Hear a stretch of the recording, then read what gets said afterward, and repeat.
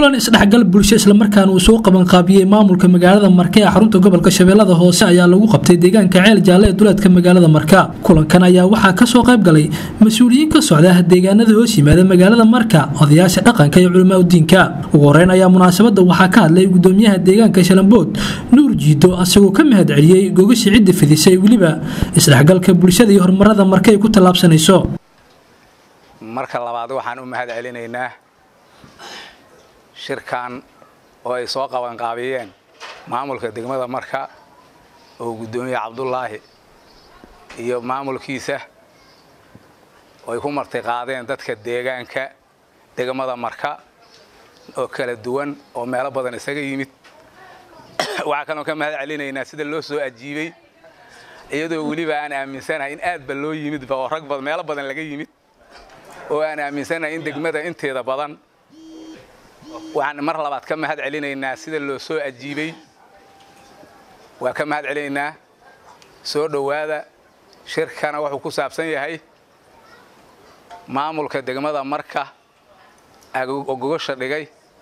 Ulajeeddaduna waxay isdhexgal bulsho isu keeni dadka isfahansiin dhammayn colaadihii jiray iyo waxyaabihii la soo maray in laga qoomameeyo maamulka degmada marka cabdulaahi waafow oo dadku saas u yaqaanaan.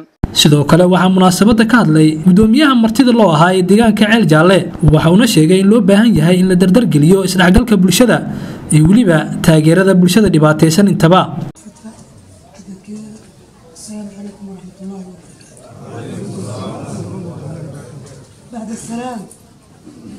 Waxaan leeyahay soo dhowaada deegaanka ceel jaalle saacadan kadib barnaamijkaanii oo maamulka cusman u talagalay. Haddii aan nahay dadka deegaanka ceel jaalle waa furan yahay. Soo dhowaada anaku soo dhoween waa idinku soo dhaweynaa soo dhowaada asalaamu calaykum waraxmatullahi sidoo kale munaasabadda oo ahayd mid si weyn loo soo agaasimay ayaa waxaa ka hadlay qaybo ka mid a odayaasha dhaqanka iyagoona sheegay in laga gudbay dagaalada sukeeye ee ku soo laalaabanayay gobolka shabeellada hoose iyo guud ahaan soomaaliya. Qabiil waa dhammaad wax leedaha ninkii qabiil qalbigiis ku haystow qabiil waa aragna waxaasiyahay soomaaliya labaatadoo sano bannaankay la jiftaa adduunkay ka hartay. Qabiil wax la yidhaah waa dhammaaday. Ninkii hadda ka bacda dagaal qabiila abaabulaa dhahayow ilaahu iimaanka gelaan lehnaa ilaahu yaa iimaanka geli annaga dagaal qabiil waa aragna soomaaliya haddaan nahay soomaaliya labaatan iyo todoba sano adduunyada ay ka hartay kenya damaacinos inay hadda ay qabsato soomaaliya ay qabsato. Haddaayn kenya waa inaga cabsi jirtay etoobiya waa naga baqi jirtay ilaahay ka cabsada duwar lagu aldimooyaa ilaahay ka cabsada dad islaanaan nahay ummadda nabi maxamed ah aakhira loo wada socdaa kulligeenna. Iimaanka allah na geliyo dagaal waa aragnay soomaaliya haddaan nahay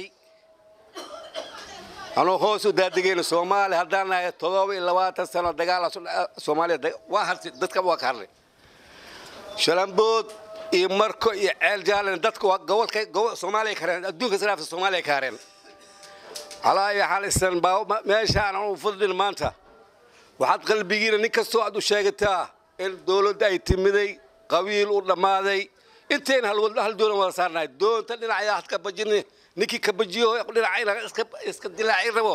Ilaahu iimaanka galaan lehelnaa ugu dambeyn ayaa munaasabadda waxaa soo gabagabeeyey gudoomiyaha magaalada marka ee xarunta gobolka shabeellada hoose cabdulaahi cali axmed waafow asagoo sheegay in isdabajoog ay noqon doonto googshaan la fidin doono isdhexgalka bulshada bulshada reer markana ay horumarka ay saareen cagta. Awalan dhammaan culamaa udiinka odayaasha dhaqanka waayeelada halkaa isugu yimiday. Waxaa idinkugu salaamaa salaanta islaamka. Assalaamu calaykum waraxmatullaahi wabarakaatuh. Salaan kadib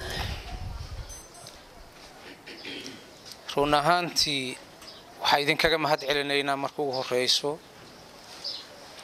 wicitaankii gogosha la idinka wacay sidaad u soo ajiibteen dhammaan reer degmada marka odayaashoodii iyo culammadoodii iyo dhallinyaradoodiiba.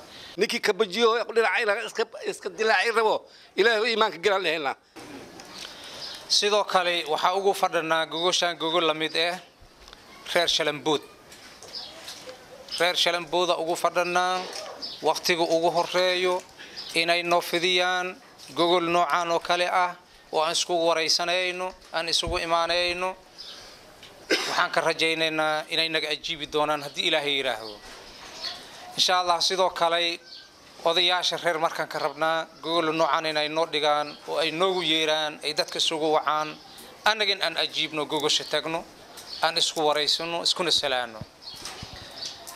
Alxamdulilaah waa alle mahadiisa annagoo nabad qabna caafimaad qabna isugu kay keenay. Insha allahu annagoo nabad qabnina ilaahay hanaga wada celiyo. Gogashaasaan ku jirno intaa kadib kulankayna maanta ujeedkiisu horey baa loo sheegay maamulkii ugu horreeyey baa sheegay. Ujeedkaynu wuxuu ahaa isbarasho isdhexgal israac bulsho ujeedkayna intaas waaye haddii ilaahay yidhaahdo inaas noo socdo sida ay maamulka noo ballan qaadeen mar waliba ay noo socoto gogashaan aad baan ugu rajaweynahay ilaahay ay noo suurtageliyo. Sidaan haddii la helo waxaa imaanayso mar waliba in la helo dembi dhaaf badan. Ilaahay inaas noo dembi dhaaf. Waxaa imaanayso dadka inay iscafiyaan waxaa imaanayso dad aan sanayaala is arkin inay meesha isu arkaan oo isu salaamaan. Insha allahu dadkii gogoshaas fidiyo ummadda isugu yeeray ayaa iska leh ajirkaas intiisa badan.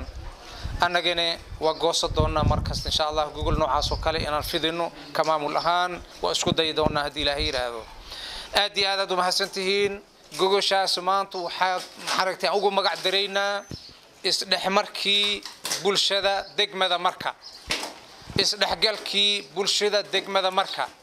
Israacii bulshada degmada marka ayaan ugu magac daraynaa waxaan idin leenahay waan idin leenahay haddii ilaahay yidhaahdo intayna haddaan ilaashano nabadayna iyo wanaagayna iyo horumarkayna maasha allah meelaan gaaraynaa dad hor u socaaya ayaan noqonaynaa cabdiraxmaan kambaala calson t v muqdisho